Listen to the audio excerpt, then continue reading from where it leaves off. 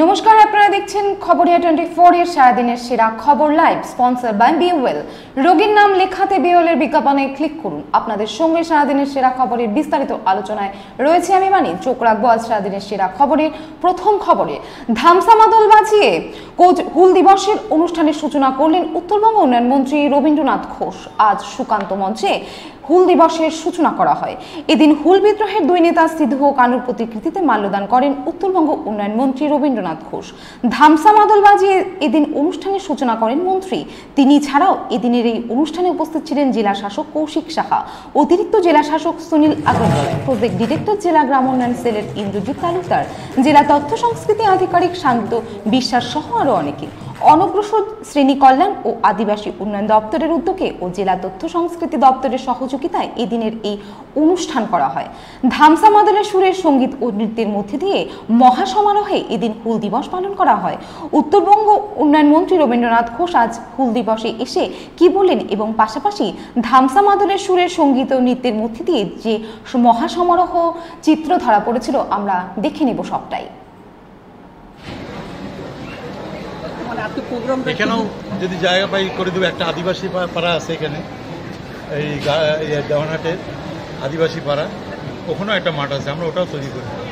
ওইটা কার নামে? হবে সিধু কানু যাই হোক যা লোকাল এলাকার লোক যা প্রপোজ করবে তার নামে। তার নামে আমরা বিভিন্ন জায়গায় আমরা জায়গা খুঁজছি কুমারগাঁও জায়গা খুঁজতেছি মাঠ বানানোর। হুম। তারপরে লোকনাথপুরে একটা জায়গা আছে।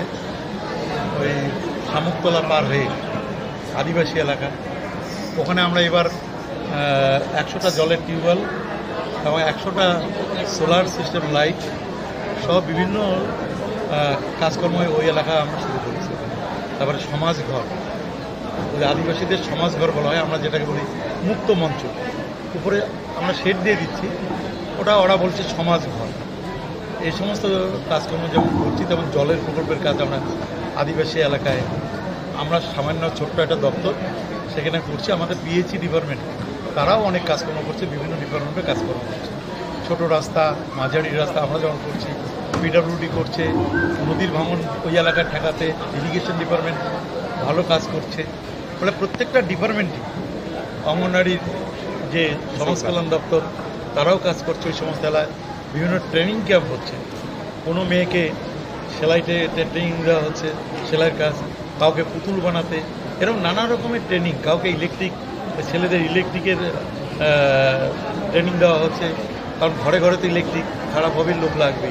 এবং ছোটো ছোটো ট্রেনিং দিয়ে তাদেরকে স্বনির্ভর করার চেষ্টা করা হচ্ছে। ওই এলাকার যে স্বনির্ভর গোষ্ঠীগুলো, তারাও যাতে বিভিন্ন কাজে উদ্যোগ নেয়, বিভিন্ন রকম কাজ দিয়ে যেটা পছন্দ করে।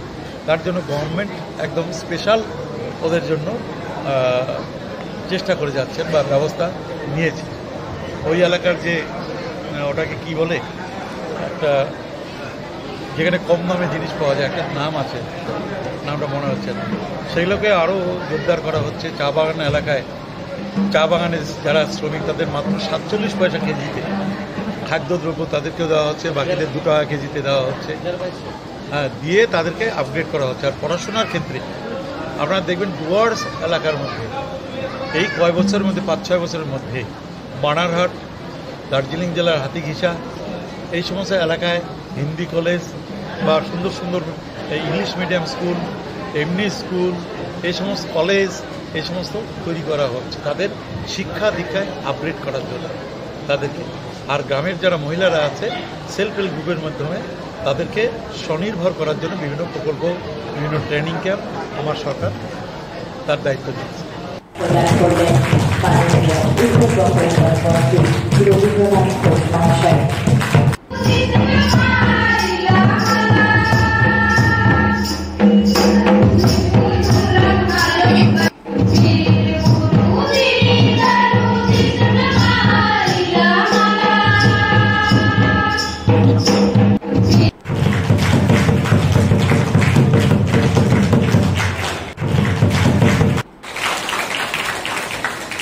প্রজ্বলনের মধ্য এই যে হাতটা হাত হাত সরান হাত সরান।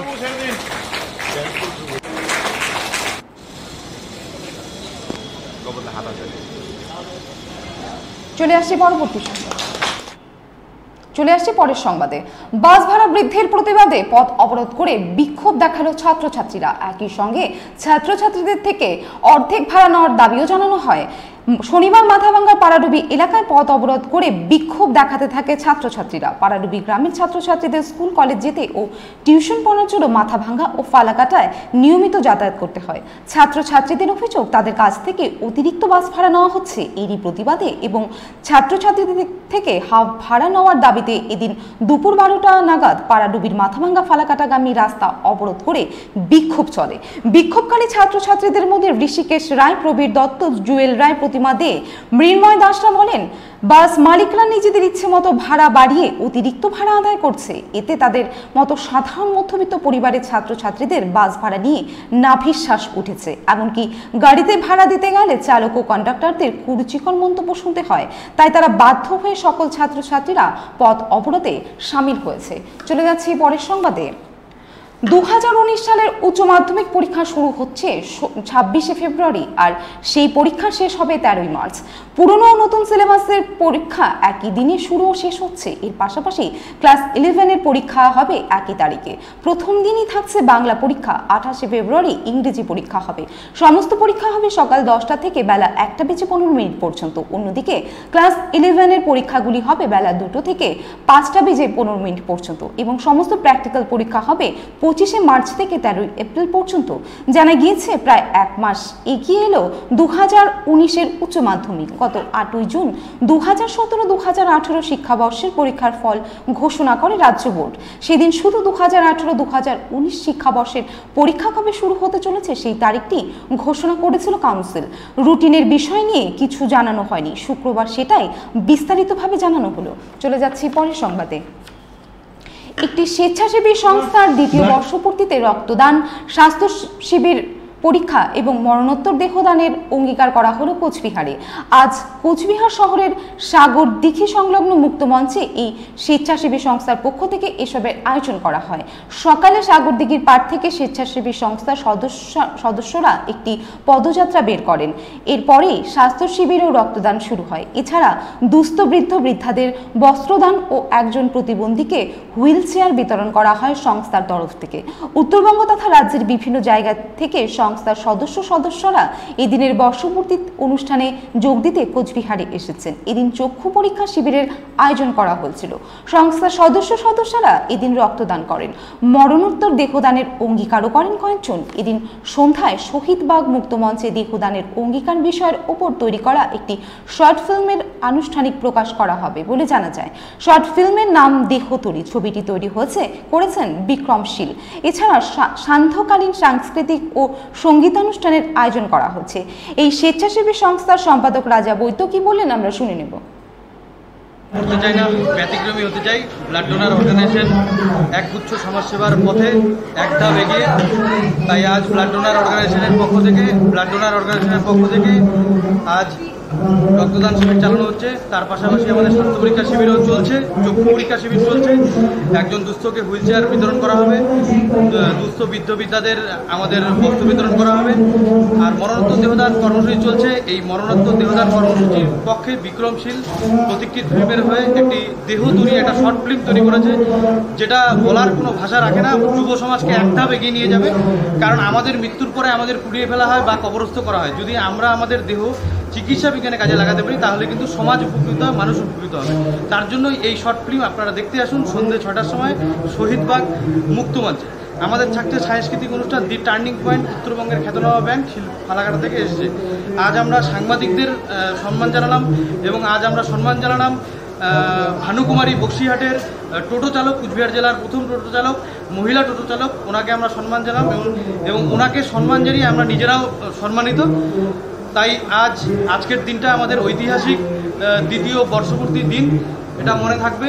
সকালে হয়তো বৃষ্টি ছিল, তার জন্য আমরা র্যালিটা সেভাবে করতে পারিনি। তার পরবর্তীতে যেভাবে আমাদের সদস্য সদস্যরা উত্তরবঙ্গ থেকে দক্ষিণবঙ্গের বিভিন্ন জেলা থেকে এসছে, তাদেরকে আমরা সেলুট জানাই। রাজাবৈদ্য সম্পাদক চলে আসছি পরের সংবাদে।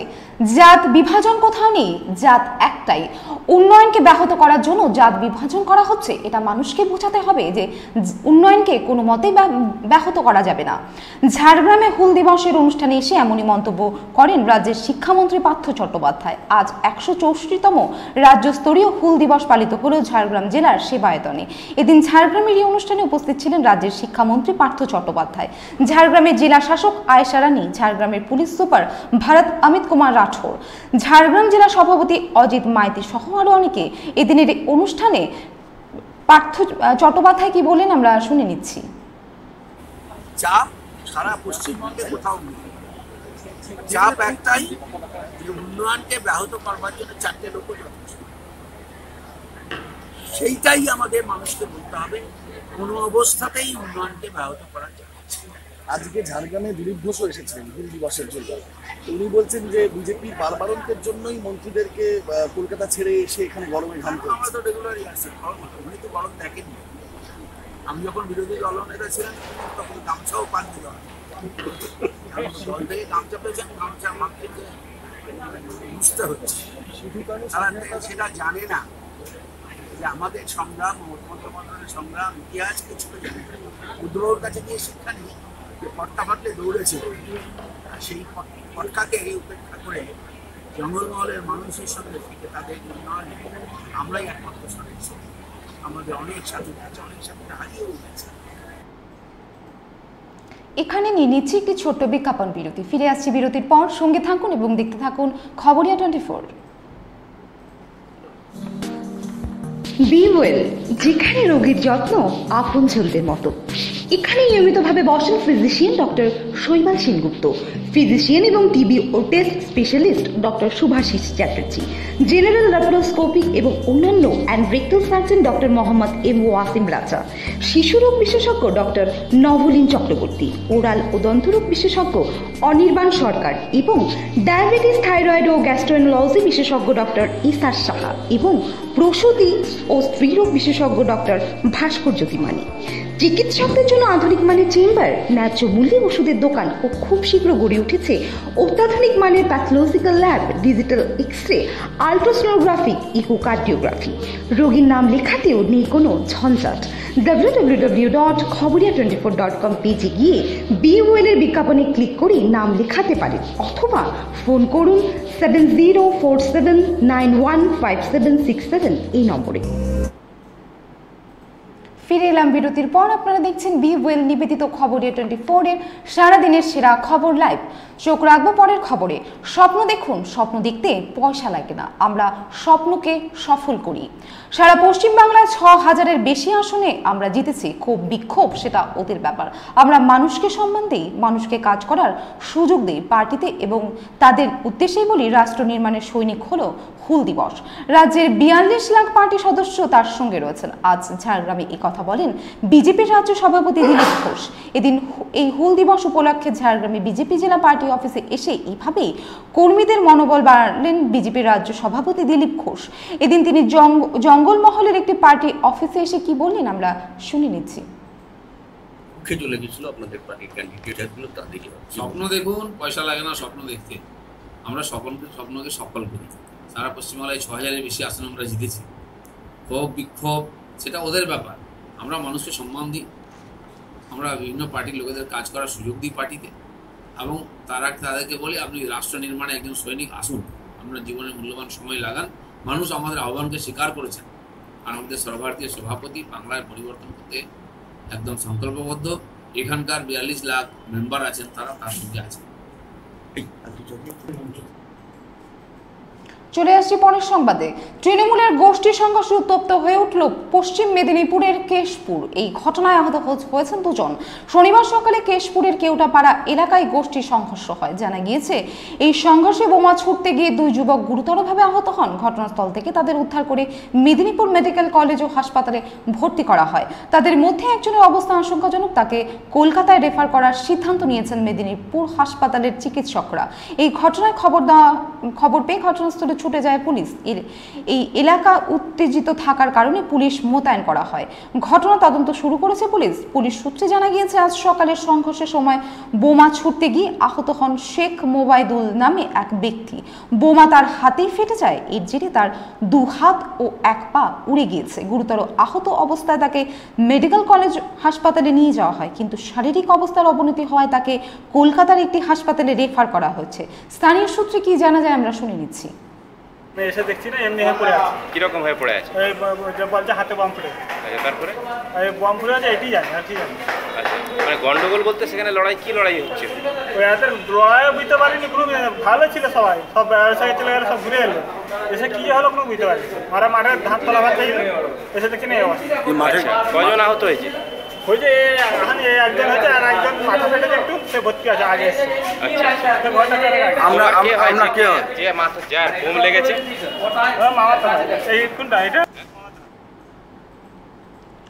চলে আসছি পরের সংবাদে।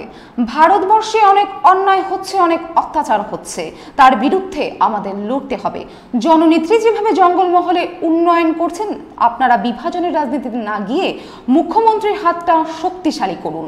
এদিন ঝাড়গ্রাম জেলার সাকরাইলের কুলটিগড়ি এসসি হাই স্কুলের, স্কুলে হুল দিবসের অনুষ্ঠানে এসে এমনই মন্তব্য করেন রাজ্যের পরিবহন মন্ত্রী শুভেন্দু অধিকারী। তিনি আরও জানান, আজকের দিনটি ঐতিহাসিক সংগ্রামের দিন। এই দিনটি কে পালন করুন। আজ ঝাড়খণ্ডে আদিবাসীদের জমি কেড়ে নেওয়া হচ্ছে। আর এখানে মুখ্যমন্ত্রী আপনাদের জন্য কাজ করছেন। আপনারা তার সঙ্গে থাকুন। এমনই মন্তব্য করেন রাজ্যের পরিবহন মন্ত্রী শুভেন্দু অধিকারী। প্রসঙ্গত আজকের দিনে আঠারোশো পঞ্চান্ন সালে ইংরেজ সরকারের বিরুদ্ধে সিধু ও কানু দুই বীরের নেতৃত্বে ছোটনাগপুর জেলার ভগনাডিহির মাঠে কয়েক হাজার আদিবাসী মানুষ একত্রিত হয়ে জড়ো হয়েছিলেন। ওই দিন সমস্ত আদিবাসী সমাজ বিদ্রোহ ঘোষণা করেছিলেন ব্রিটিশ সরকারের বিরুদ্ধে। ইংরেজ সরকারের ভিত কেঁপে গিয়েছিল আদিবাসী সমাজের এই যুদ্ধ ঘোষণাকে কেন্দ্র করে এই দিন ইংরেজ সরকার কয়েক হাজার আদিবাসীর উপর নির্বিচারে গুলি চালিয়েছিল। মারা গিয়েছিলেন কয়েক হাজার আদিবাসী। এই বিদ্রোহ পরবর্তীকালে পথ দেখিয়েছিল সিপাহী বিদ্রোহের চুয়ার বিদ্রোহকে। ইংরেজকে ভারত ছাড়তে বাধ্য করেছিল, তাই আমরা এই দিনটিকে পালন করে থাকি। এদিন ঝাড়গ্রাম জেলার সাকরাইলের কুলটিকড়ি এসসি হাই স্কুলের মাঠে অনুষ্ঠানে উপস্থিত ছিলেন রাজ্যের পরিবহন মন্ত্রী শুভেন্দু অধিকারী। সেচ মন্ত্রী সোমেন মহাপাত্র, গোপীবল্লভপুরের বিধায়ক চূড়ামণি মাহাতো। এই অনুষ্ঠানে এসে পরিবহন মন্ত্রী শুভেন্দু অধিকারী কি বললেন, আমরা শুনে নিচ্ছি। ঐতিহাসিক সংগ্রামের দিন। এই দিনটাকে আপনারা পালন করুন। ভারতবর্ষে অনেক অন্যায় হচ্ছে, অনেক অত্যাচার হচ্ছে। তার বিরুদ্ধে আমাদের লড়তে হবে মানুষের পক্ষে। জননেত্রী জঙ্গলমহলকে যেভাবে সাহায্য করেছেন, আপনারা এই বিভাজনের রাজনীতিতে না গিয়ে মুখ্যমন্ত্রীর হাতটা শক্তিশালী করুন। এই বিনম্র আবেদন আমি আপনাদের কাছে করব। আজকে ঝাড়খণ্ডে আদিবাসীদের জমি কেড়ে নেওয়ার আইন করেছে সেখানকার বিজেপি সরকার। আর আমাদের মুখ্যমন্ত্রী আপনাদের জন্য কাজ করছেন। আপনারা তার সঙ্গে থাকুন। উন্নয়নের লম্বা তালিকা, বলতে বলতে লম্বা হবে। এমনকি আজকে আপনাদের পবিত্র আস্থার জায়গা, আমরা সাষ্টাঙ্গ প্রণাম করে আমরা সিধু কানু মুর্মুকে মঞ্চে উঠলাম, করম দাদাকে পুজো করে আমরা মঞ্চে উঠলাম। আপনাদের জহর থানো আজকে সরকারি ভাবে সুরক্ষিত করার জন্য এই সরকার কাজ করছে। এটা ভারতবর্ষে কোথাও নেই। তাই আপনারা সবাই মিলে সরকারের সমস্ত কল্যাণকর কর্মসূচি যাতে প্রত্যেকটি মানুষ পান। খাদ্য সাথী কন্যাশ্রী, শিক্ষাশ্রী, তার সঙ্গে বর্তমান চালু হওয়া মানবিক থেকে রূপশ্রী। আজকে এই সরকার জন্মালেও আছে শিশু সাথী। আজকে মারা গেলেও এই সরকার আছে সমব্যথী। এই সরকারের সঙ্গে থাকুন, এলাকার শান্তি রাখুন ঐক্যবদ্ধ থাকুন, বিভাজনের রাজনীতি থেকে দূরে থাকুন। এই প্রার্থনা জানিয়ে ফুল মহা জিতকার সিধু মুর্মু জিৎকার কানু মুর্মু জিৎকার, চাঁদ মুর্মু জিৎকার, ভৈরব মুর্মু জঙ্গল মহল জিৎকার। নমস্কার। চলে আসছি পরের সংবাদে। দোকানে ঢুকে এক যুবতীকে খুন করার হুমকি দিল দুষ্কৃতীরা। ঘটনাটি ঘটেছে উত্তর দিনাজপুর জেলার ইসলামপুর বাজার এলাকায়। বাজারে এক লোহার দোকানে ঢুকে ভাঙচুর চালায় দুষ্কৃতীরা। অভিযোগ, দোকানের জিনিসপত্র বাইরে বের করে ফেলে দেয় দুষ্কৃতীরা। খবর পেয়ে পুলিশ ঘটনাস্থলে পৌঁছলে দুষ্কৃতীরা পালিয়ে যায়। এই ঘটনায় ইসলামপুর থানায় একটি লিখিত অভিযোগ দায়ের করে চঞ্চলবাবু। এই ঘটনা তদন্ত শুরু করেছে পুলিশ। স্থানীয় সূত্রে জানা গিয়েছে চঞ্চল পালের বাজার এলাকার একটি লোহার দোকান দীর্ঘ কয়েক বছর ধরে ব্যবসা রয়েছে। আজ সকালে আচমকাই একদল দুষ্কৃতীরা এসে দোকানে ঢুকে দোকানের জিনিসপত্র বের করে দিয়ে দোকানে ভাঙচুর চালায় বলে অভিযোগ। খবর দেওয়া হয় ইসলামপুর থানায়। খবর পেয়ে ঘটনাস্থলে পুলিশ পৌঁছলে দুষ্কৃতীরা পালিয়ে যায়। ইসলামপুর থানার আইসি রাজেন ছেত্রী জানিয়েছে, জোর করে উচ্ছেদ করতে আসে দুষ্কৃতীরা। তাদের খোঁজে বিভিন্ন জায়গায় তল্লাশি চালানো হচ্ছে। এই বিষয়ে চঞ্চলবাবুর মেয়ে পিউ পালকি বললেন এবং পাশাপাশি এই বিষয়ে ইসলামপুর মার্চেন্ট অ্যাসোসিয়েশনের নেতা দামোদর আগরওয়াল কি অভিযোগ করলেন, আমরা শুনে নিচ্ছি। আমরা সেটা বলতে পারব না। আমার ভাই সকালবেলা দোকান খুলছিল আমরা তো ঘুমিয়েছিলাম। এসে দোকান টোকান ভেঙে টেঙে দিয়ে সব মাল বাইরে বের করে ফেলে দিচ্ছে। কেন করবে এরকম? কারা ভাঙচুর করেছে? আমাদেরকে বলছে দোকান খালি করো দোকান খালি করো এটা মালিকের জায়গা। কোন মালিক? মালিক তো এখানে বসে আছে এটা তো আমাদের জায়গা। আমরা তো অন্য মালিকের জায়গা তো দখল করে বসে নেই না আর বিশ লাখ টাকা নিয়ে নিছে কেন নিবে এরকম করে কথা নাই বার্তা নাই বাড়ির মধ্যে ঢুকে যাচ্ছে দোকান ভাঙছে টাকা টাকা যা পাচ্ছে সব নিয়ে চলে যাচ্ছে কেন করবে। আজকে বাড়ির মধ্যে ঢুকছে। কালকে রাত্রেবেলা এসে মার্ডার করে দিয়ে চলে যাবে। না করে কি আছে? আমার বাবাকে পর্যন্ত মারছে। এমনকি এটা বলছে যে আমাকেও রাস্তায় পালে বারে ছাড়বে না। কে বলছে? ওই গুন্ডাটাই বলে তোকেও দেখে নিব। আমাকে এরকম করে বলছে। ওর ভয় কি রাস্তায় বেরোতে পারব না নাকি? কারা পাঠিয়েছে চিনি না আমি ওদেরকে। কে ওরা আমি কিচ্ছু জানি না। পরে এখন সমস্যা কীভাবে মিললো পুলিশ আসছিল?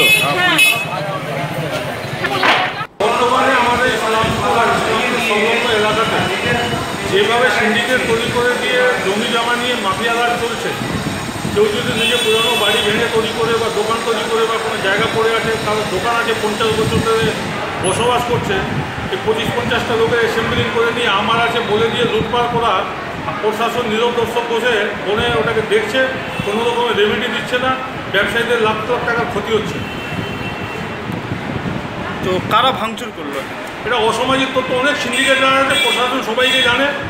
এবার আমার ব্যবসায়ীরা প্রকাশে নাম বলতে ভয় পায় কেন পায়? তো প্রশাসনিক সুরক্ষা পাচ্ছে না কালকে এসে আবার ওর উপরে আবার এটাই হবে। এরকম ঘটনা এর আগে আরও কিছু ঘটেছে কি ইসলাম এর আগে অনেক ঘটনা ঘটেছে আর ঘটেই যাচ্ছে। যে কোনো বাড়ি তৈরি হলে ওখানে একটা রেনশন দিতে হবে নাহলে বাড়ির কাজ করতে দেবে না এখানে আমার জায়গা আছে। চলে আসছি পরের সংবাদে। খুচরো পয়সা নিয়ে দোকানদারের সঙ্গে ভাইয়ের বইয়ের বচসা। তার প্রতিবাদ করতে গিয়ে দোকানদারের হাতে আক্রান্ত হলেন ভাসুর। ঘটনাটি ঘটেছে মালদা শহরের রবীন্দ্র ভবন এলাকায়। আক্রান্ত ওই ভাসুরকে রাতে রক্তাক্ত অবস্থায় মালদা মেডিকেল কলেজ হাসপাতালে ভর্তি করা হয়। দোকানদারের বিরুদ্ধে অভিযোগ দায়ের করা হয়েছে ইংরেজ বাজার থানায়। পুলিশ ঘটনা তদন্তে নেমেছে। পুলিশ সূত্রে জানা গিয়েছে, আক্রান্ত ওই ভাসুরের নাম বিকাশ মণ্ডল। তার বাড়ি রবীন্দ্র ভবন এলাকায় অভিযুক্ত বিশ্বজিৎ মণ্ডলের বিরুদ্ধে অভিযোগ দায়ের করা হয় ইংরেজ বাজার থানায়। জানা গিয়েছে বিকাশ মণ্ডলের ভাইয়ের বউ শিল্পী মণ্ডল আড়াইশো গ্রাম লঙ্কা কিনতে যান বিশ্বজিৎ মণ্ডলের দোকানে। সেই সময় খুচরো পয়সা দিয়ে লঙ্কা বিক্রি করবে না বলে শিল্পীর সাথে বচসা শুরু হয় বিশ্বজিৎ মণ্ডলের। বিষয়টি কি হয়েছিল আমরা শুনে নিচ্ছি।